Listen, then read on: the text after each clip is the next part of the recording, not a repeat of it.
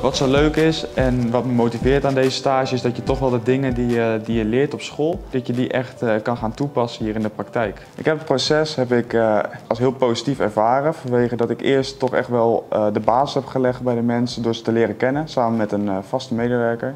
En daarna toch ook die zelfstandigheid te krijgen door een eigen route te kunnen gaan lopen. Nou, ik heb uh, zoveel plezier aan mijn stage beleefd dat ik uiteindelijk ook nog uh, heb besloten om een tijdje vakantiewerk te komen doen. Ik zou je aanraden om in de thuiszorgstage te komen lopen vanwege dat je heel veel uh, zelfstandigheid krijgt. En dat je ook verschillende ja, zorghandelingen kan trainen, want die zijn er heel erg veel. Wat mij het meest verraste was, ik kwam hier binnen als een heel onzeker meisje. Maar ze hebben, mijn stagebegeleiders, maar ook mijn collega's hebben mij heel erg groot gebracht naar wie ik nu ben. Ik vind het heel erg leuk om met uh, dementerende ouderen te werken. Ik leer heel erg veel van hun, maar hun leren ook weer heel veel van mij. Nou, momenten dat mij eigenlijk wel gelukkig maken zijn echt wel de momenten dat wij uh, echt actie moeten ondernemen. Dan kan ik gewoon laten zien wat ik in de theorie heb geleerd en dat kan ik dan in de praktijk uitvoeren.